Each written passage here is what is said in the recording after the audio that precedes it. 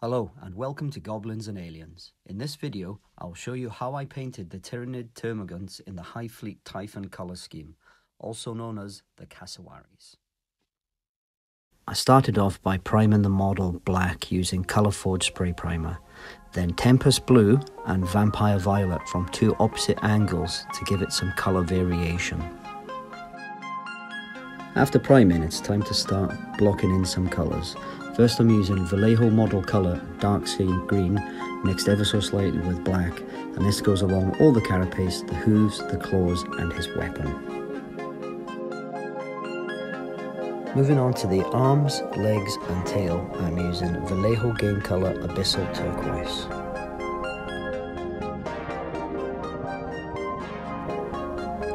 Mapping out where I would like to see a colour transition between the dark and the light blue. Using Vallejo Game Color Ghost Green.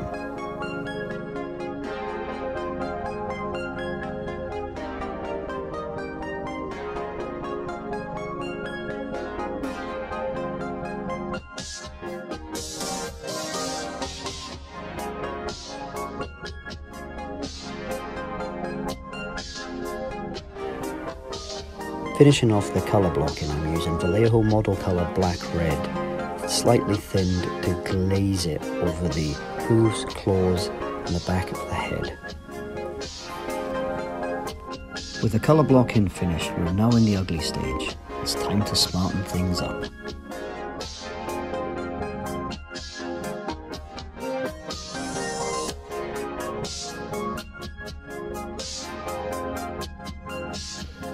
On to my favourite part.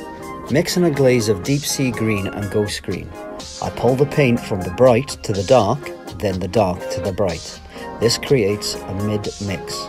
With this done, I use a very thin glaze of ghost green, pulling the paint from the mid out to the bright, then the same with deep sea green, pull it from the mix out to the dark. This should then smooth down the transition.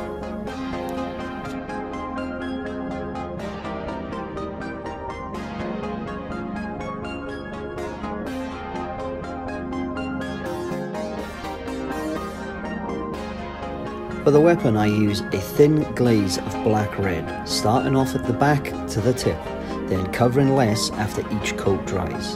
To help the glaze, I do the same with the original dark paint thinned down and do it in reverse.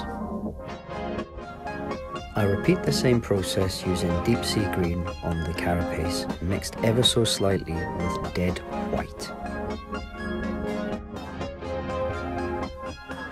Finish up the smaller details like the teeth and eyes, I start off using Vallejo model colour Japanese uniform World War II, basing each of the tiny details, then mixing in some ice yellow, brightening her up, and slowly adding the tiniest, tiniest little bits of paint.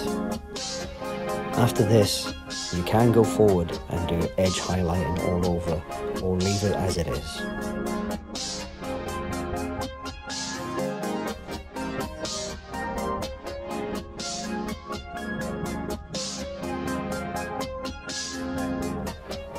Here's my finished model. This isn't display quality, nor is it speed painting or batch painting, but it is a tabletop standard that I'm proud of. When these cassowaries are all grouped together, they're gonna look great.